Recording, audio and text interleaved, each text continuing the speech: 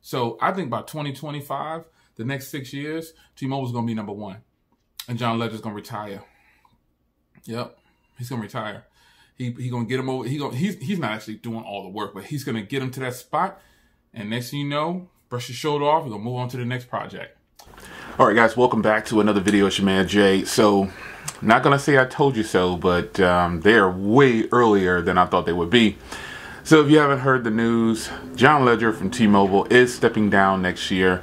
Uh, pretty much on May 1st, he says he's gonna hand over the reins uh, to the new CEO, which is the gentleman that he hired uh, back in the day. So, no surprise there, but. Uh, I told you um, in the previous video, you know, when I was talking about the merger, he's ultimately saying he's going to stay on as a board member and things like that. And recent news, he was being um, groomed for a different company, WeWork or something like that, for their CEO.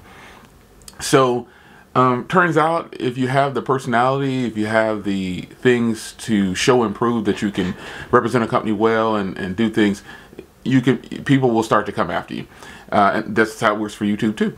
Uh, so, you know, ultimately, I think John Legere is going to be CEO somewhere else, or he'll go to something else. It's, he's not going to stay on the board very long, uh, just sitting on T-Mobile's board or directors or whatever they're doing. Uh, I, I, saw this coming, which is why I talked about it. I had no idea that it would be this soon.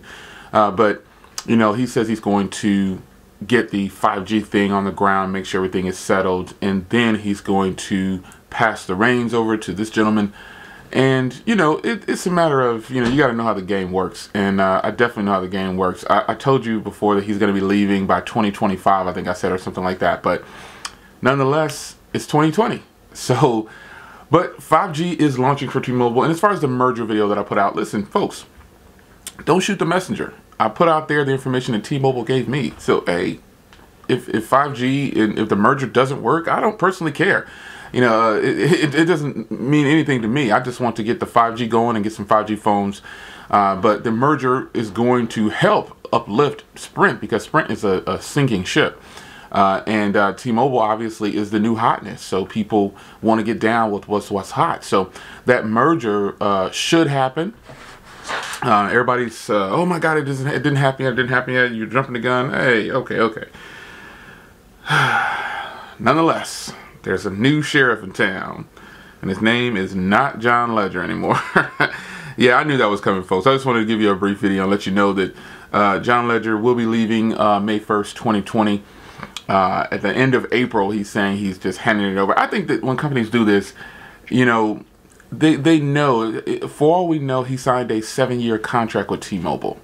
Get this thing rolling, and then you know we'll move you on to this, and we'll pay you this bonus, and dot dot dot that is actually how when you see a lot of people moving within companies or you see companies uh, kind of CEOs jumping from one spot to another, they're just completing, this is jobs to them. They sign on deals uh, and they do the deal and then they leave and go on to the next deal. Uh, and, and the reason it's different for them and not us is because they're signing multi-million dollar contracts with people. So they've got money to burn.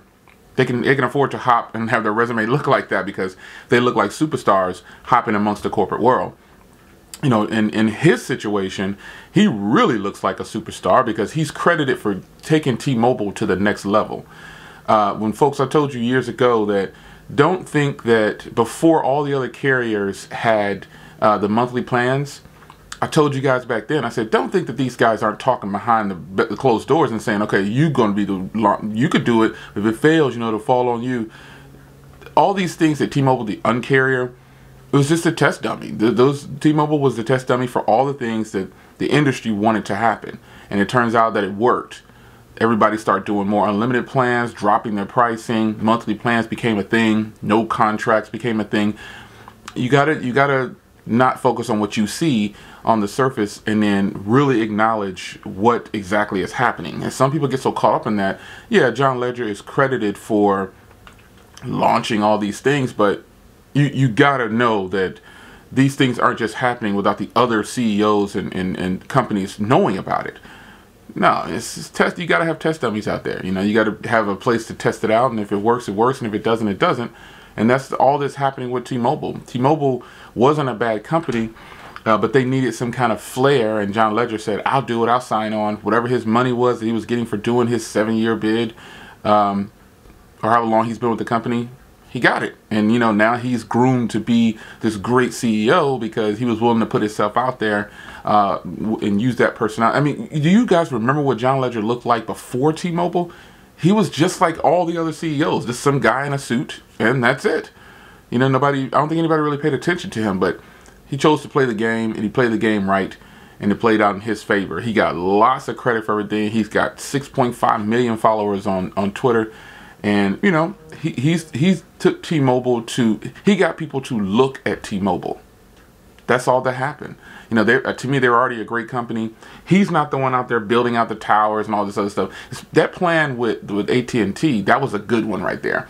AT and T got suckered into that plan because um, they had to pay T-Mobile, and they pretty much paid for T-Mobile's network. So, you know, that was a sucker move. They probably knew that wasn't going to get approved, but they wanted that money, and they had to get the capital from somewhere. So, again, Got to play the game. So, T-Mobile CEO is no longer as of 2020. I saw this coming, and now here we are, five years early. it's, uh, it's amazing how they how they get it done. But let's hope 5G happens on December 6th. The phones do launch on December 6th. Uh, the OnePlus 7, depending on when you're watching this, it's obviously already out or isn't out yet. This is recording in November. Uh, but the um, OnePlus 7T McLaren will hit T-Mobile on December 6th, along with the launch of 5G across the board, along with the S10 5G, I believe it is, uh, that they're going to launch uh, across the board. I think I don't think the Note 5G is going to be. I'm not sure, but they definitely have the McLaren coming. I mean, because I, I, spoke to T-Mobile, and you know, they, they they definitely have the McLaren and the S10 5G, I believe, coming on December 6th. Going to be ready to sell. Uh, so more than likely, I'll probably be standing in line over there because I know it's probably going to be a line.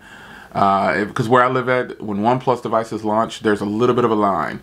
Uh, it's uh, I live by like one of the main stores that does high volume, so it's a bigger store, and so it does high numbers. People are lined up on launch days. So, nonetheless, man, your new CEO is not John Legere in 2020. How is the vibe and the milieu going to be now going forward? I wonder if he's going to keep that excitement, you know. So uh, we should see.